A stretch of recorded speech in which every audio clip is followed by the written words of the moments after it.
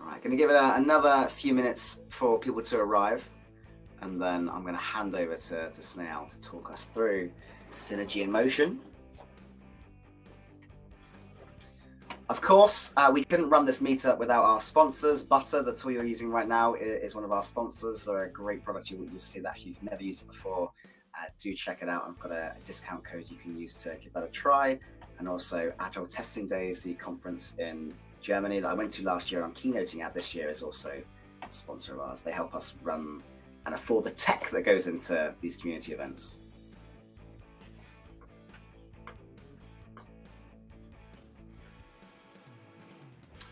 Right, folks. Well, I am particularly looking forward to this session today for a couple of reasons. One, I'm an absolute geek when it comes to AI. And two, I've met Snehal a couple of times at, uh, at conferences. Was it was in US and Amsterdam, right? And on both occasions, annoyingly, our sessions were clashing. We were speaking at the same time, so we've never actually been able to see a live session. So I'm very fortunate to be able to do so today. And I'm gonna hand, I'm pretty much gonna hand it over to, to Snehal from there. He is Mr. Agile AI, very people-centric approach to AI. And I'm sure there's gonna be lots of lessons, lots of learnings, lots of cool things that you're gonna pick up in the session today. He does have some time built in or a, a portion built in for Q&A. Uh, so there'll be a slide for that. But if you do have any questions, just drop them into the chat as well. I'm sure we can pick up on those. And let's do this. Over to you, my friends. Awesome. Share your screen. Thank you so much, Chris, uh, for having me today. Uh, let me just make sure that you guys can see my screen here. All right. I can't see you guys, but uh, can you guys see my screen? Yeah. Awesome. Fantastic. So thanks, Chris uh, for the warm invite. Uh, first time on. Uh, I love this platform, and I also love the the meetup. So, welcome everyone to AI and Agile Frontiers. Um, I'm really excited about this talk for multiple reasons. But before we get started, I want to ask you, what are you most excited to learn about today? So to join this poll, all you have to do is scan the QR code um, or join slido.com and enter that code in, and you should be able to just answer that question right away. Let me know if you've run into any difficulties.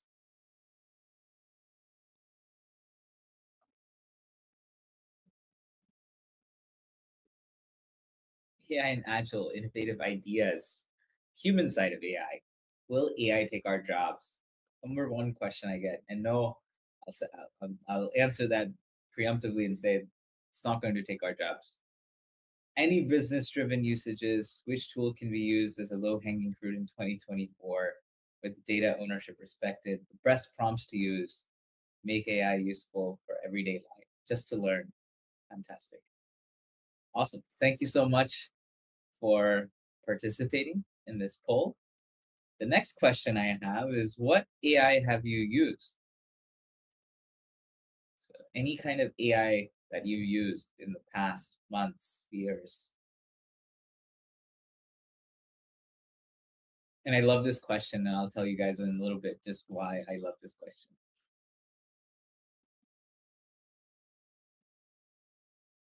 So I'll start telling the story about this question. I've been asking this question around the world. Last year, I did 14 talks around the world, um, and it it is just a question that always makes me wonder is like if I asked this question maybe three years back, what would have been the response? But if I had to predict, I think the next the answer would be ChatGPT, uh, is what mostly everyone puts, and that's exactly uh, the case here. Um, it's I, I, find this very very um, interesting because uh, ChatGPT is not the only. It's just you know known as generative AI, and we'll talk about what generative AI is, but really ChatGPT put AI on the map. Um, and mostly everyone besides the AI community, uh, everyone knows that that is basically uh, the November 2022 was the moment um, where AI became accessible to everyone. Um, and since then, everything has just amplified. Um, the amount, the pace of change uh, has gone exponential, and we'll talk about how that change has affected um, the industry uh, all across every industry all across the board. So I love that some folks have put Notion, um, Miro. So a lot of the everyday tools have started to use uh, AI, um, and we're going to see a lot more of it. And and and to be honest with you, this is just the beginning. Uh, we're just scratching the surface when it comes to uh, uh you know what we're seeing. So I'm going to play this video, and hopefully you guys can hear it. Uh, but for, this is from Davos, uh, from Dr. Andrew Ng. If you haven't heard of Dr. Andrew Ng, he's a he's a great person to follow. He's from DeepLearning.ai. But let's play this video for.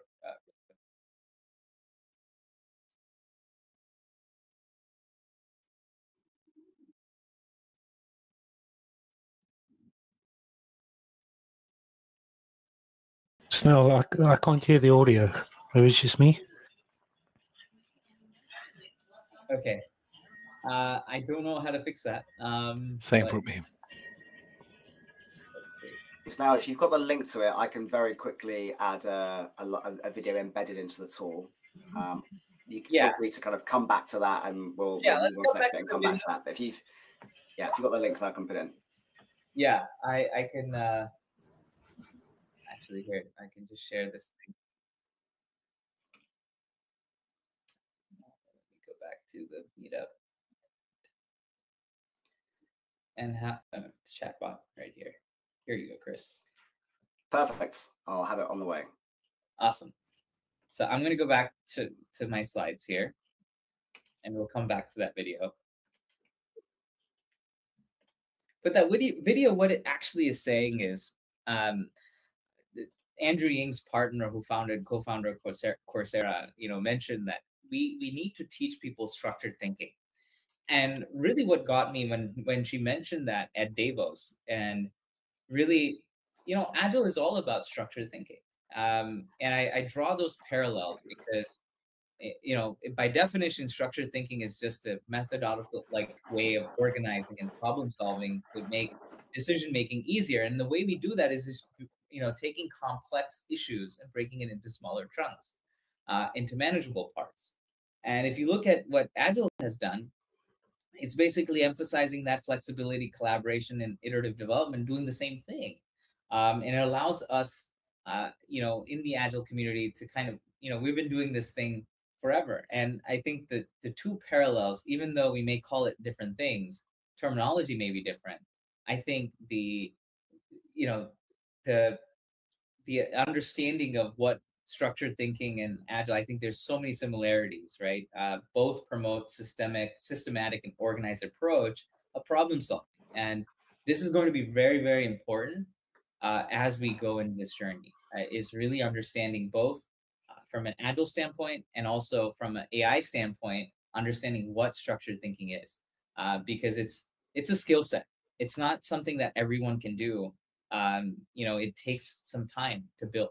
And I, I always liked i was kind of intrigued to see someone at davos talking about structured thinking and how that kind of comes to comes together. So with that i'm going to talk about ai in the news. Uh, i started doing this um, slide throughout my talks and i got tired of putting snippets. So i found these charts and these charts basically are ai news that were revealed uh, and this is basically in one week so I used to do this, put snippets of like news that came in. The first, I, I remember, uh, you know, very vaguely, like the first uh, talk that I gave.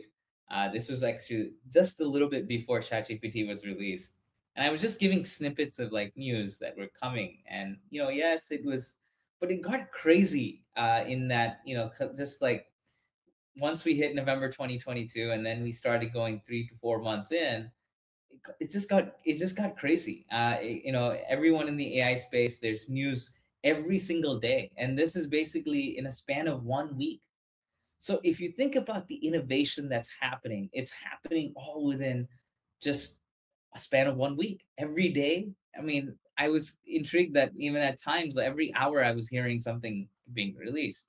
So just to give you an example, this happened in one week. Like uh, we had a breakthrough in image generation we had co-pilots for standard prompt techniques to skyrocket Claude's accuracy. uh, Apple's open source ML framework for Mac was released. Google unveiled Gemini. So there's this race, um, you know, and every company you're seeing it today. Uh, everyone's dancing, and I actually I, I I quote Satya Nadella. He said, "I'm going to make Google dance this year." Um, and I feel like everyone is dancing, and, 2024 year is is that year of the dance. Um, you know, I think every company uh, is really trying and pushing the innovation uh, limits to to something that I've never witnessed, um, and I don't think anyone will have witnessed uh, based off of what's coming. But some highlights that I like to give is that a new study on coding behavior raises questions about impact of AI software development.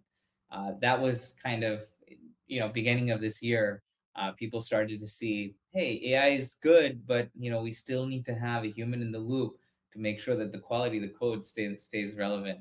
Uh, and that's that can change, right? It's it's an understanding of how do we, um, you know, make sure that we as humans um, are in the loop, but at the same time understand and be open minded that AI will get better, you know, over time. I think that's the biggest thing that we don't realize is that we just don't give it enough time. Stability AI releases stable code for, you know, again, coding use case has gone off the charts. But another thing that I've started to see is OpenAI signs up its first higher education customer that was in the beginning of this year. Uh, so education um, partnership with OpenAI, that was a huge one, bringing generative AI into the education and learning space. I always question if, if education, you know, in, in certain institutions can bring AI into their space, we should be able to bring AI into our space to educate others and, and really uh, teach them a lot of different things that we do in, on our day-to-day agile, uh, you know, agile activities that we conduct. Oracle embeds generative AI across the technology stack to enable the the AI adoption at scale. Um, you know, people are saying that the 2024 will be the year of the AI assistant, and I'll talk a little bit about AI agents and what that means.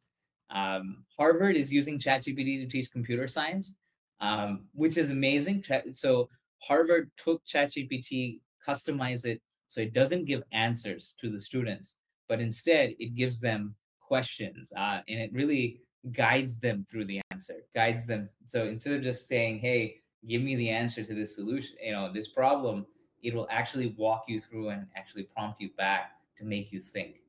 Uh, so harvard has done something phenomenal in that um, in that area. Today this is latest breaking news today. Um, gemini just announced uh, gemini 1.5 coming uh, to consumer.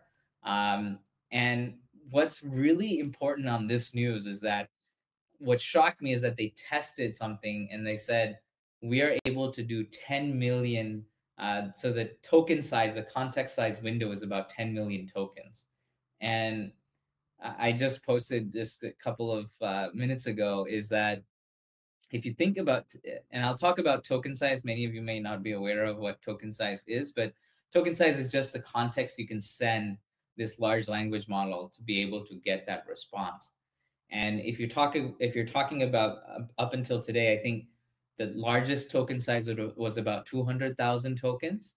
Uh, so just think about 10 million, and 10 million is equivalent to maybe like you know 600 hours of just talking and conversation that you can send as context to then be able. And this is just in a span of, I would say like you know two years like, like we're hearing this right i mean we're we've gone from a context size window of maybe like you know 2000 to 3000 the generative ai space to now like 10 million. So if you think about the time time is very exponential in this case.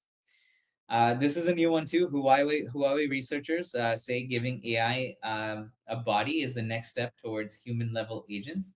So really allowing ai to understand action memory and experience. And i'll talk about what companies are doing to really understand that piece and how that comes together. So, so far in the generative AI space, we've only seen language. We've seen a majority of the use cases be text. Uh, there are some multimodality uh, pieces that we've seen, but um, this will be interesting to see large action models and, and what that means uh, in that aspect. And then obviously OpenAI this year has said that they are going to release something that's uh, related to AI agents uh, soon in in the whole uh, you know OpenAI, ChatGPT kind of ecosystem, uh, which will allow us to operate day to day tasks um, and automate those tasks. And I'll give you an example of how that can be automated. Another thing that is um, quite uh, interesting is AI wearables. Um, these are all devices that uh, I have coming uh, soon. Notice that there's no Apple Vision Pro here because that's part of spatial computing. And I'm not going to. I'm not talking about that here today. But these are AI wearable devices that are being launched this year. Uh, on this side, you see the Humane Pin, uh, which is again a, a, device that uses AI to be able to. You'll be, you know, it, it's able to see. It's able to um, uh, kind of deduce a lot of information that's uh, that's around you. Uh, here you see a, a, a, rewind tablet. So basically, you wear this uh, rewind pendant. Sorry. and it kind of records your day-to-day activities, and you can go back and technically go back in time and ask because it's generated with AI. It's taking that context and being able to go back. On the right hand side, you see Rabbit R1 device, which is another uh, device that was showcased at CES this year that also uses AI. It's a, it's um, it is based off of what we call large action models. So today we have large language models predicated on language, uh, but the large action models allows you to automate actions uh, and you can teach it. So just like if I'm, let's say, uh, example in our space would be if I teach Rabbit, uh, hey, how do I put this ticket into Jira once? Then it can learn over time. And then all you have to do is ask Rabbit, hey, Rabbit, can you put this ticket into, it'll follow the same steps and the actions that were done. So it actually learns the action from end to end. And then on here, this is from Brilliant Labs. Uh, these are multimodal AI glasses. Um, and this is the first, I think, consumer product. This this product here and this product here are both made. Founders are former Apple uh, executives, um, but the the frames are kind of I think the first one where you will see in-screen print with AI. So like you can be looking at something and ask, "Hey, you know, what am I looking at?" And it can give you some context. Or you can ask it in search like really basic questions and real-time translation is also available uh, through these glasses. And the key thing that I'm really excited about for these Brilliant Lab glasses is it's the first open source glass. So you will be able to um, kind of do a lot of things in that area. So when I talk about AI agents, um, you know, an example here is this was something that I found online this morning is someone giving a picture of a flooded basement so I want you to, eh, you know, kind of think about where we're headed is we're headed to something called AI agents. And I know I'm I'm making I'm jumping here, uh, but I, uh, the reason I wanted to talk about this is because a I want to make sure we talk about the latest and greatest. But AI agents is basically something that uh, is able to automate end-to-end actions, um, and we're seeing that being applied in a lot of the applications that are being developed today. Uh, so one of the things that you see here is this is an image that is completely flooded. And someone was just like, I'm going to create an app where you get a notification if something is going to cause some damage to your basement. But the interesting thing is, think about this We, GPT-4 Vision can do this today. Tomorrow, when, when OpenAI announces their agent framework, you will be able to take this end to end action and say, hey, take a picture from your camera and be able to upload that every, let's say, 15 minutes. And then if there's anything that looks different because it has that contextual awareness, you know, be able to send you a message saying that this, you need to go check your basement because it's about to, you know. So, my key thing here is to really help you think where we're headed. So right now we're in that space where this is static. Like you just upload a picture and ask it, "Hey, you're you're in charge of making sure this house has nothing bad to happen in it." Um, you know, and you watch webcams for signs of issues. Is there anything to worry about? Right. So this is a one-time deal. But when you think about agent framework, I want you to think about automating this and doing this multiple times without you having to be there. So that is something I think is it is automation and it's the agentic framework that will allow us to do a lot of the things that we don't want to do and still have insights on on things, and I'll I'll I'll kind of relate this to a um, a agile scenario and uh, and show you kind of what's possible. So U.S. tech adoption. Uh, this is kind of like where the you know where my talk actually begins. Those are some of the slides I just put in uh, just before this talk. But day one, when the internet smartphones came, we still had you know the projection wasn't wasn't a hockey stick projection. AI on the other hand, November 2022, AI has just literally this curve is it's, it's just straight up. It hasn't um, you know it hasn't moved. At the same time, AI is surpassing human parity. Uh, you know, AI is getting better faster, and I think this is the slide that I spend a, a little bit of time because I want people to recognize that you know there are so many things that AI can do better than us, but there are so many things that AI can't do better than us. There are, you know, and that's what we need to find. We need to figure out what are the things that we're good at from a human perspective, and what are some good things that, you know, what are we good at from, you know, what is AI good at uh, in terms of AI's perspective? And what you see here is basically in all areas, image recognition, um, code generation is again uh, really a popular one. Um, language understanding, reading comprehension. I mean, you've seen all the use cases up until this point, but AI really can do a lot of that better than we can. And I'd like to start the slide off by saying, avoid the Turing trap. So, how many of you here have um, uh, know about the Turing test? I'm gonna go back so I can see you guys. Uh, see Anyone heard of the Turing test? Okay, it seems like some some, some, some thumbs up happening, some people nodding, some people shaking their heads. Okay, all right. Thanks, Chris, for that. So let me tell you about the Turing test. So Turing test was created by Alan Turing in the 50s, and basically it was a test to as to really uh, correlate the machine's ability to exhibit intelligent behavior equivalent to a human. So it was the only test available at that time to really assess humans and machines and the intelligence between you know that's how we kind of uh, you know if, if you pass the turing test then we you know we said that okay passing the test means that the machine is perceived and having human level intelligence but i think this is where and i uh, the picture i have is dr eric Brynjolfsson from stanford uh, and I, I, had a conversation with him uh, in in one of the conferences that I that I went to, um, and it is interesting, and I do recommend this book uh, by him. It's called Machine Platform Crowd: Harnessing Our Digital Future. And he he wrote this book uh, way before any of the generative AI space kind of blew up. But one thing he says is, you know, we want to avoid the Turing trap because judging an AI system solely based on its ability to mimic humans is what makes us that that fear mongering comes concept comes into our mind uh, because we think that AI is going to take over uh, because we're comparing AI to human intelligence. But if you just say, you know, if you just think of machines as having machine intelligence, right? Then, and if you avoid this Turing trap, then it, it, you know, it becomes a less, less burden of saying, oh, that fear mongering kind of stops. So again, why is this pro- problematic? Is because it focuses on too much of the human likeness than the usefulness, right? And so we need to really move away from that. Uh, risk of overestimating system capabilities based on a limited test, and it distracts from developing AI that is ethical, aligned with uh, human values, and you know benefit society. So, really, we want to avoid it. We want to avoid it so we you know understand that it, there are certain things that AI can do better than us and accept that, right?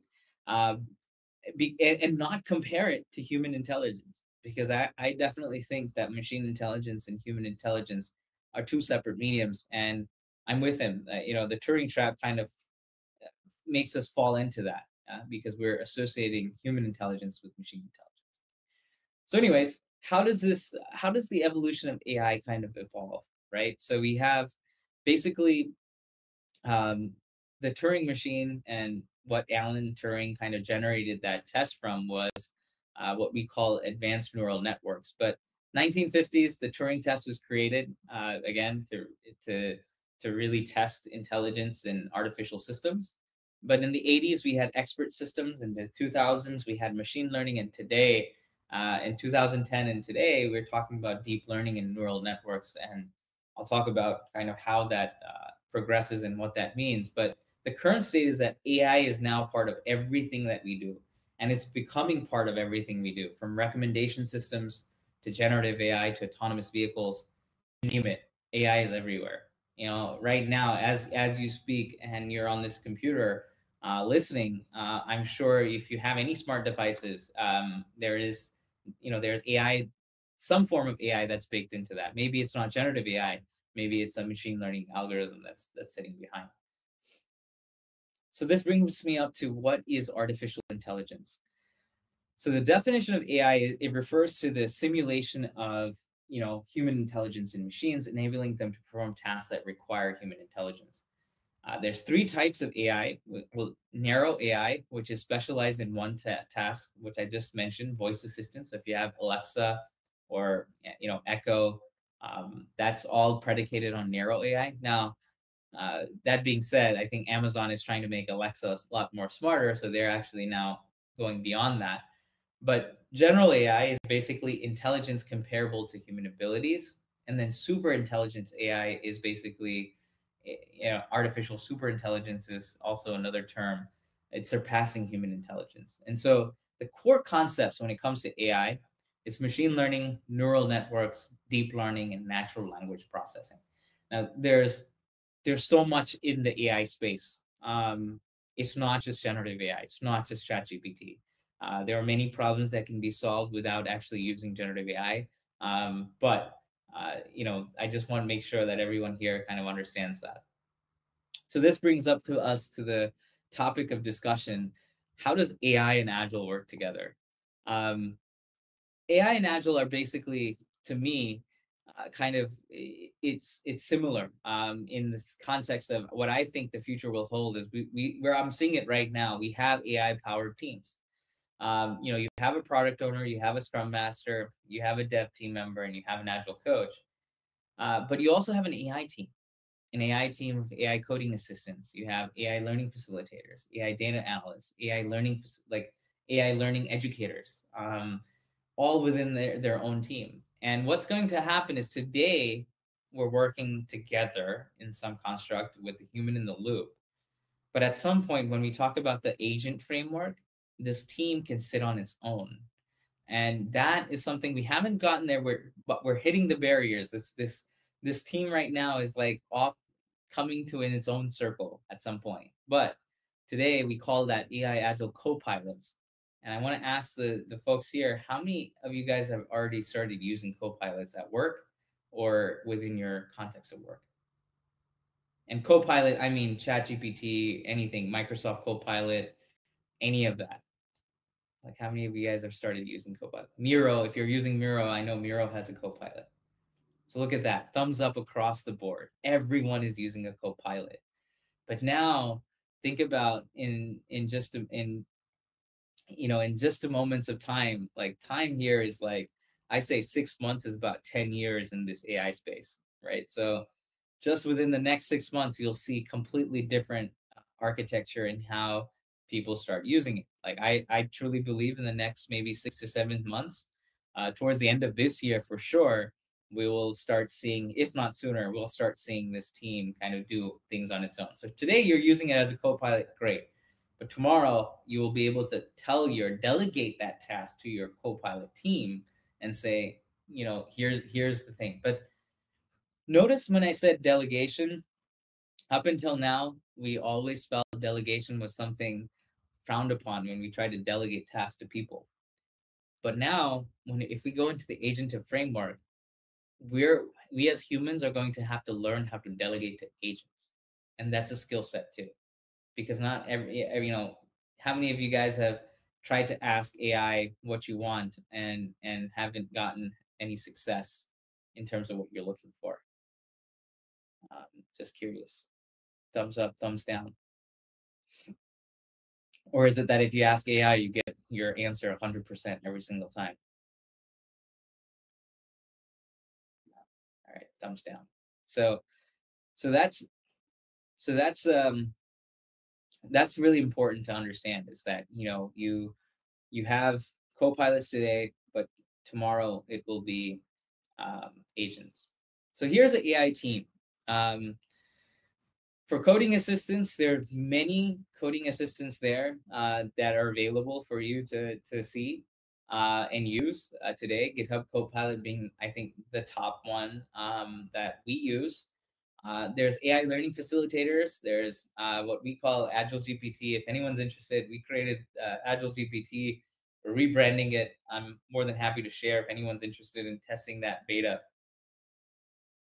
Inflection.ai, Meta AI chatbots, ChatGPT, Spinach.io is the one that I'm really um, fond of because I can help. I can show you a use case in the agile sense, kind of how that can help um, any of the fireflies.ai, otter.ai. And there's so many. Um, there's an AI for that.com. There's a website. There's tools for so many AI tools. But really, I, I kind of cherry pick these for our agile use case and kind of show okay, what can be done. So rethinking agile principles in the age of AI. So recent advances in AI are transforming software development and the way we work we need to re-examine, in my opinion, the value, agile values and principles in light of these new emerging technologies. So today we're at the AI space. Tomorrow we'll be at the spatial, you know, spatial computing XR space. How do we adopt? How do we really stay ahead of the curve and, and really understand? And it's, it's an exciting time to reimagine delivering more value faster with smarter teams and tools, right? So if you have an AI team, you have, um, you know, all of these things at your disposal. How do you kind of bring that together? Um, and really deliver the value that your customer is looking for. So the future of human and AI dynamics. This picture is actually taken from an OpenAI paper. Um, and basically what this is showing is this is a paper on super alignment. Um, and it, not to go into the intricate details, but this was actually a, a paper. Uh, first author was Ilya Sutskever, uh, I don't know if you guys know Ilya Sutskever, but he's the one that uh, stirred the drama in OpenAI. Rumors are, uh, but you know, I've gotten a chance to listen to him speak. And one of the things he he mentioned, he's the brainchild behind OpenAI, by the way, a very smart intellect intellect person. Uh, but in this paper, what he mentions is that, you know, traditional, you know, reinforcement learning by human feedback. That's what ChatGPT is based off of, right? Like we are prompting ChatGPT, it learns from our feedback. Uh, you know, if you've seen the thumbs up and thumbs down on the ChatGPT prompts or any um, co-pilot you've used, you're really training the model to to refine its answers, right? And it's, it's through human feedback. Um, but what he's saying is that today that's the case. When it comes to uh, super alignment, though, there will be a point where you know the intelligence will surpass the human level. So at that point we won't be able to train uh, the the ai in that aspect. This, if the student is ai we won't be able to train it surpass that right? So what he's proposing is that have ai train ai uh, and have that scaffold uh, be there. So it's like kind of like if I were to give you an example, it's like when you're teaching a child how to ride a bicycle, you're not really telling the child exactly how to pedal that bike, right? You're there as a scaffold to help them so they don't fall or they don't tip over. Um, similarly, this is the future of like if we were to if we were to keep going at this pace, that we will need AI to train AI. Um, yeah, and and it's just a again, this is again avoid avoiding the Turing trap uh, because we recognize that we we are only able to train at, at some level and then after that level we need some kind of view. So this is a great paper if anyone's interested i'm more than happy to share but the future of human and ai dynamics i think will be critical uh, in understanding ai some ai agility principles um, you know adaptability augmentation data driven transparency and ethics right these are five areas that i think are really important uh, when it comes to putting AI and Agile together. AI Agile practices. So what do you do? How do I put this into practice? You might be asking as an Agilist. Identify, analyze where AI could actually provide value. uh, selecting the AI models. So research and choose appropriate AI. Educate yourself first on what models and tools are available for AI that's out there. Um, and then ideate. Use AI to broaden the solution exploration place plan. So you know, incorporate your AI insights for a longer term vision. Um, and then be able to create high quality work faster with AI. Today, we're still in that co-pilot mode, right? But with human AI, I think there are so many use cases in our, in our piece that we can do high quality work much faster with that augmentation. And then just enable that experimentation and feedback loop even faster, right? Make it make it quick, make it rapid, and then track that AI impact over time. So in order for us to do this, we have to understand AI, and that's where I think the new AI agile coach role is headed.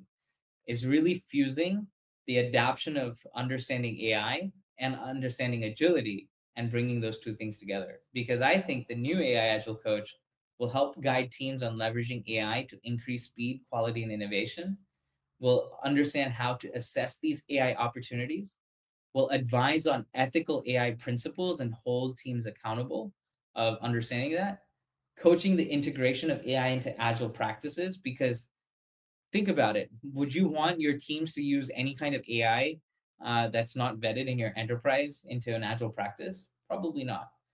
Facilitates experimentation with AI, monitors AI solutions for transparency drift, um, shapes the future vision of AI assisted agile teams. And I, I have a book actually coming out in a couple of months called AI powered teams. And in that book, I talk about uh, AI assisted agile teams and also what happens when we have a full autonomous AI team uh, that is that are doing some of the tasks that we don't like to do. Um, so the AI Agile coach role, in my opinion, is going to be imperative to shape the future vision of AI assisted agile teams. Um, you know that you know something will have to happen when it comes to uh, understanding the dynamics between machine and humans.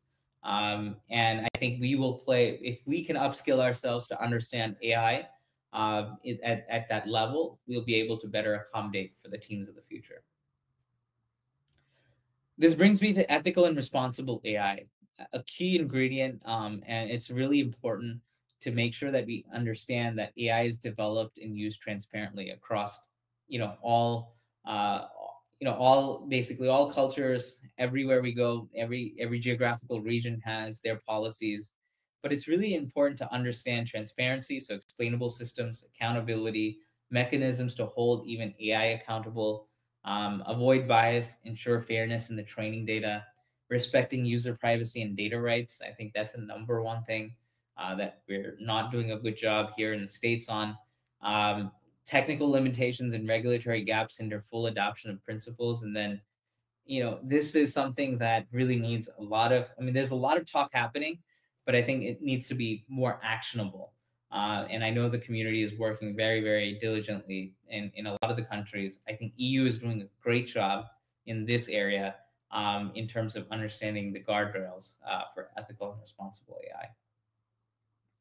Data privacy and ownership with AI. So for those of you who are using AI, these are key things that you should consider. Um, you know, understand that a lot of these models that you're using, they don't own your data but some of them may be using your data to train their models. There are ways to kind of turn that off. I know OpenAI ChatGPT allows you to turn that feature off, but if you're ever concerned about your privacy safeguards and data ownership rights, reach out to the folks that you're the tool or anyone that you're working with and ask these questions, right? Any tool that I use, the first question I ask is what is your underlying foundational model that you're using? Uh, based off of that question alone, you can get a lot of clarity. If they're saying that they're using any closed source models, then you know that you have to be vigilant on what you're sharing uh, because you know there could be ex- data that can be exposed. Um, and so you have to really understand and take a deeper dive. Like, hey, is even if you're using the cloud format, what is the uh, you know what are some underlying data or security protocols that are being taken place? So ask these questions. If you're ever concerned about security, data, and ownership, these are powerful questions I think that need to be asked. So talking about AI tasks and human tasks, right? There's automated code generation for AI, predictive analytics, automated testing in QA, and then human tasks where I think we, you know, empathetic leadership, strategic planning, stakeholder communication, and then creative problem solving. Right. These are four areas. Many more areas I think humans have uh, really good insight in. One of the things I'll say is strategic planning, because when you do strategic planning, you're te- technically making a gamble, right? You're trying to figure out, okay, where am I going to strategically place? And I don't think AI can tell you that. AI can give you the insights to that, but AI can't tell you where do you want to put your money in or where do you want to put your uh, value in. So there, there are many more. I mean, this is just an extrapolation, but I think you can. One uh, activity that I have folks do in an organization is write down every task that you do on a day-to-day basis. Start simple. Just write down every single thing that you do, and then from that, once you have a good list of all the tasks that you do on a day-to-day basis ask yourself what can ai do better in in that list? And then also write down what you can do better. So then you will have this kind of complementary roles list of saying and then whenever you once you've identified all the ai tasks then you can kind of see okay how can i start delegating this right? Because there's a skill set in delegating those tasks and getting those results and putting that back into your flow system so I talked about um, all of those things. I think my slides were kind of mishmash, but overview of AI. This is what companies think AI looks like. That there's some data, there's some AI, and then there's some value that's generated. But really, what's under the hood is this. It's very complex.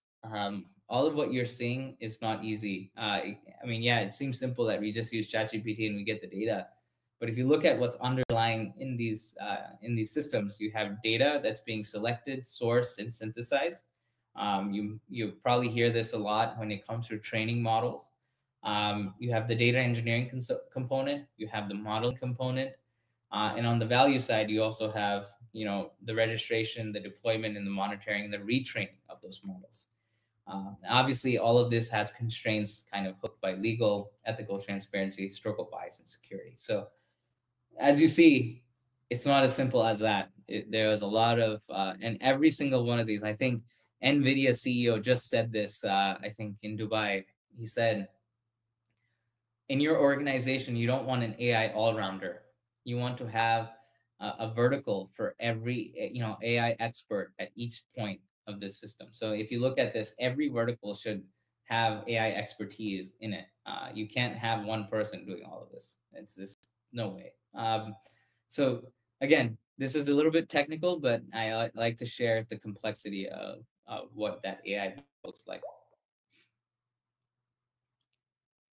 So learning from data, pattern recognition, and decision making, that's basically the practical AI understanding the basics. Uh, that's what ChatGPT is doing too. It's just taking, you have large amounts of data in language uh, being used, and that's basically what we're doing like I said, foundational AI concepts, you have AI as the large umbrella, machine learning and deep learning. And within this bubble, you have one dot, which is the generative AI dot. So I'm not going to go over all of this. Um, I know I might be, how am I doing on time, Chris?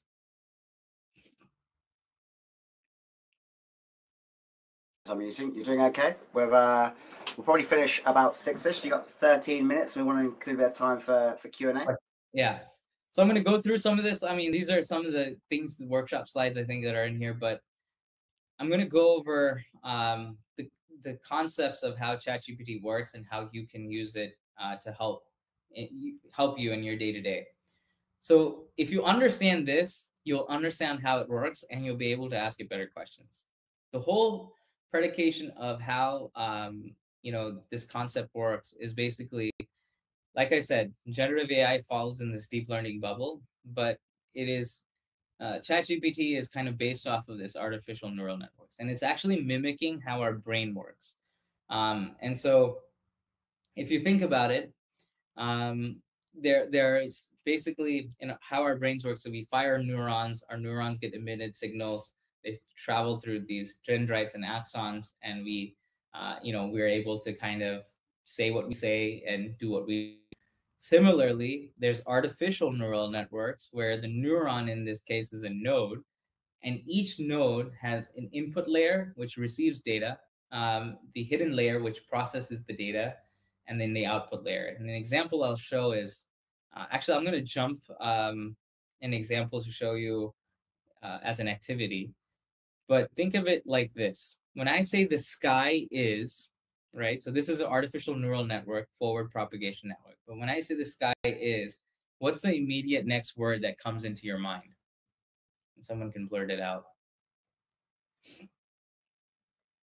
What's the next word? If I say the sky is dark and full of terrors. Yeah, so Chris is an exception there, so I'm going to have to tr- adjust my weight on my network to go to that. But majority of the folks here would say what? Blue. Blue, right? And that's because we have this training that we've seen this context over and over again. Um, and so some many people ask me, and I get this: the sky is falling, or the or a different answer, like Chris said.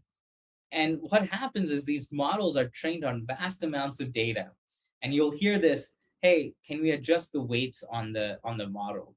And when they say adjust weights, all they're saying is, you know, can we change the prediction so it can go somewhere else? And that's why it's important to understand how these underlying models are trained because everything is still generated on data.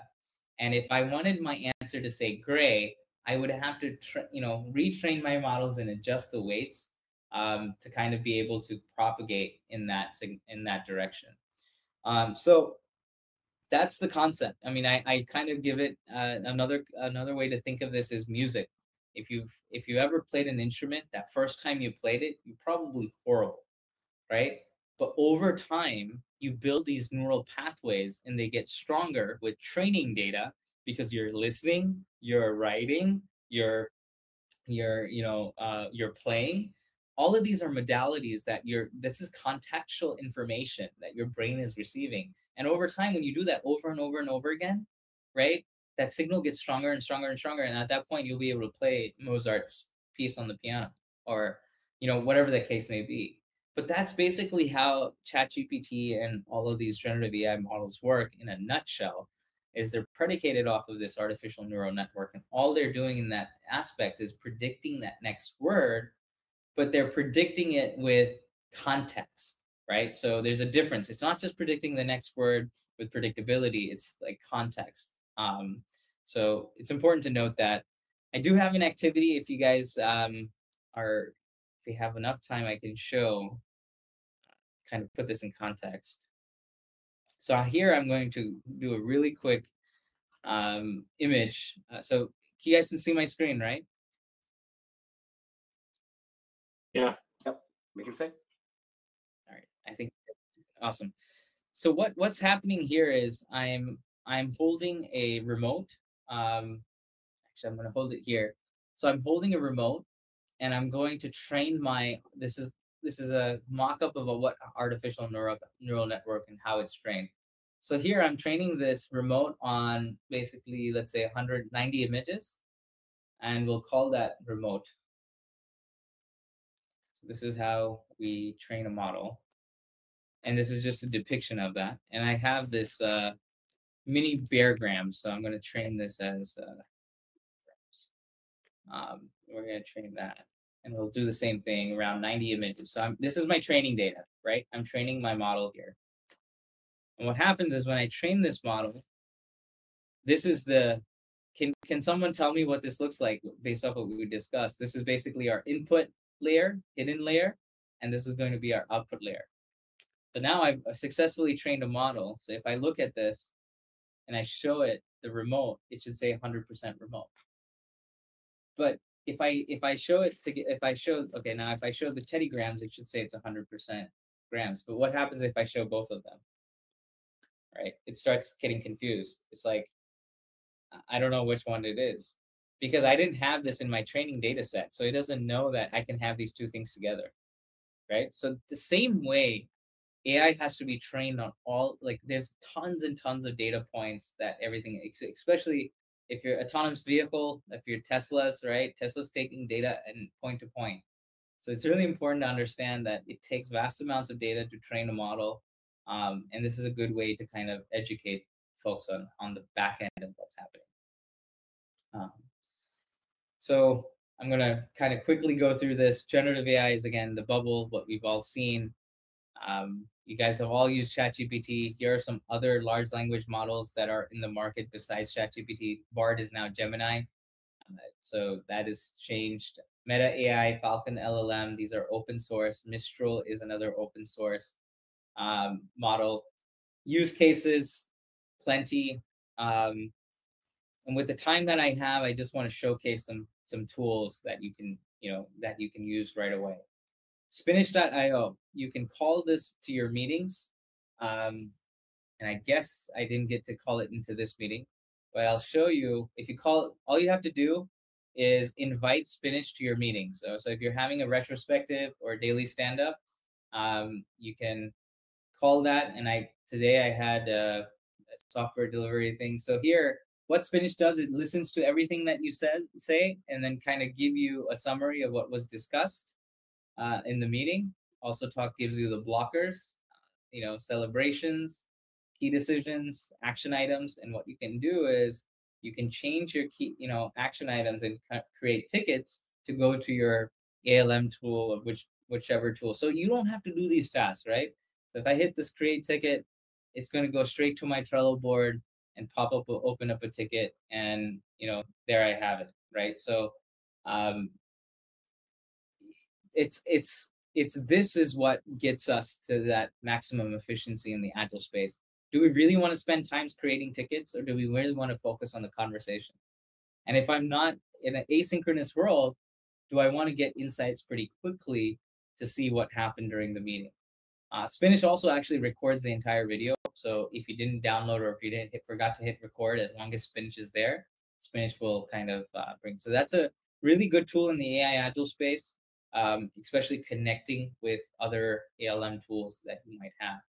Um, another one that I like to uh, show is, uh, I know Chris, you might be, um, you might know this one, the Drawify tool, uh, which is which is good for for Agilists as well. Um, so you can create images for presentations. Um, so if you if you're interested in creating graphics, uh, you know you can uh, kind of create graphics from here. You can use their Ask Maya assistant. Another tool I will share is Jeda.ai. Uh, it is kind of like Mural, but um, a, a, little different in terms of how, uh, but it's a collaboration whiteboard space. Um, it's kind of uh, so it, it's just like mural but you can it's ai baked with everything. Um, you can ask it to create a SWOT analysis board anything. Like let's just say uh create a sprint retrospective board. I'm going really fast so apologize i'm trying to get to the questions but i want to showcase a little bit of the things that you can do in that so here's a very simple but this is like lifetime collaboration. People can come in here and just do like just like Mural, and you can have infinite um, kind of AI requests. Uh, you can say. Uh, create a uh, refinement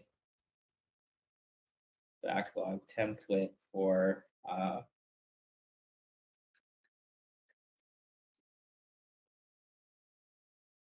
So I know my prompts are not that great, but I'm trying to see if I can. So Jeda.ai is another one, Spinach.io.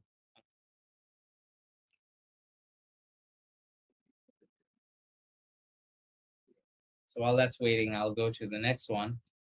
Uh, and this is the one that we built and we're still in beta. So this I, I'm more than happy to give uh, to anyone. But um, here what we're trying to do is being able to talk to different roles so i might have uh, you know agile coach where you are maybe you're facing certain issues so you can uh, you know ask saying that um, i have a team that is not great at uh, let's say at speaking up during retrospectives um, suggest ways to engage. So here you can talk to the Agile coach, but you can also then uh, talk to uh, you can bring in a different uh, you know character. So you can within the same conversation, uh, you can bring in another expert. Um, so we're, we're we're still in beta. We're still working, get trying to get feedback on what would be helpful for us as Agileists uh, to be. And the key thing that we're trying to do is we're trying to include all the models in one place. So you'll have this is Claude. You'll have all Gemini's being added this week. So you know everything is in one one spot. But now that I have this, it says, okay, well, you can do a round robin. So everyone speaks using an anonymous survey before the retro to gather feedback, using engaging icebreaker activity. So you get you get assistance really quickly. Uh, but now let's say I'm a product owner and this is part of my agile transformation team. I can say, hi, product owner, uh, can you help me create stories uh, for implementing the bug?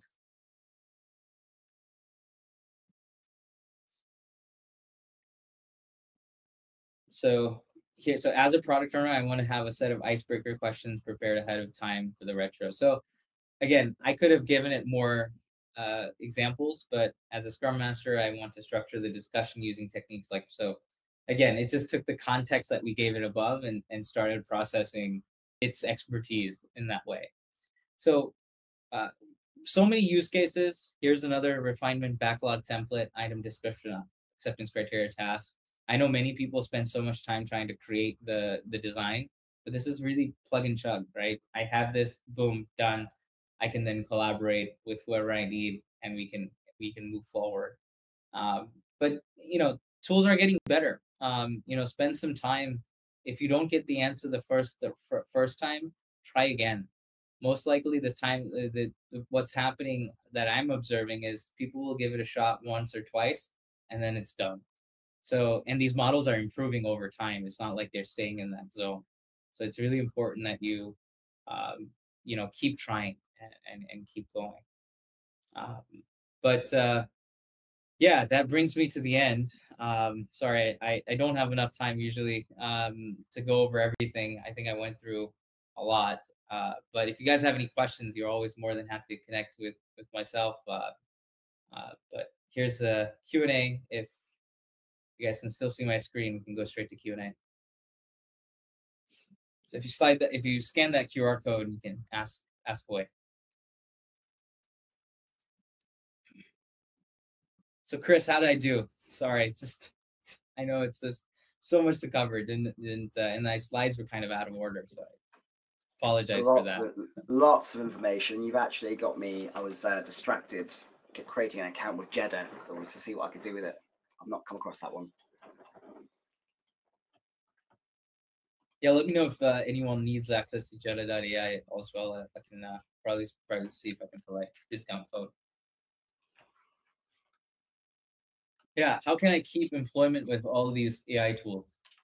Uh, great question. Um, yes, Cursor is great. Uh, it is the first, actually, Cursor is the first, I think, IDE uh, that uh, uses AI um, uh, if, if you use it, you'll need an OpenAI key, uh, but um, I, I, I, use it as well. I have Cursor. I would say also explore GitHub Copilot if your team has the ability to that cost. But I'm going to answer this first question: How can I keep employment with all these AI tools? Uh, so I'm working on uh, open source. I like to be the hugging face of Agile AI. Um, so here's something that I'm sharing. Sneak peek preview. No one's seen this. Uh, this is just uh, you guys are seeing it for the first time. Uh, what I'm putting here is the AI Agile framework, first one, and this is based off of what we're doing in the work that we're doing in a lot, a lot of the enterprise companies that we're working with. Um, one is building the strategy, right? Uh, understanding vision, strategy, ethical guidelines, and then taking actions. And I think this is where AI Agile coaches would stand you will still have an AI integration specialist and you'll have an AI data strategist. Uh, these three people will work very closely uh, to really promote a continual learning culture, a collaborative mindset, innovation orientation, ethical responsibility. So that's basically setting the stage. So, A, you get ready for it. We set that for our executives and you know the the, the innovation lab, whoever's heading that, and then the execution is where we have the AI product owner, DevOps engineers, and notice how I put these little two blue icons. If you see the blue icons, I think uh, agents and co-pilots can help. Where you don't see it is where humans are still needed uh, full time. Uh, so humans are needed everywhere in this, but it's it's the ones that have the blue that can be augmented, uh, and and you can focus on different things um, while that's there. So I'm more than happy. I'm about to release uh, the first version of this soon. Uh, we're still trying to kind of make some last minute changes um, on this uh, graphic here. Let me go back to my question. Any other questions? Do you mind if I jump in with a question? Yes, go ahead. so, firstly, great presentation. Love what you did. Fantastic. Um, where can we get our hands on one, all of the slides, two, all of the resources that you've used, and that uh, AI uh, agile coach stuff that you're doing now? Yeah, so the AI agile coach stuff, um, there are many. So my background as a coach, uh, so I, I didn't uh, mention my background. So I come from a bioinformatics um, and uh, kind of machine learning, deep learning background um, before I became an agile coach. So a lot of it's predicated on my experiences and um, kind of the engagements that I have. So we're trying to create this with uh, the intention of enterprise customers, and that's kind of where the AI Agile Coach kind of initiated. In, in you know, this was I think two and a half years ago.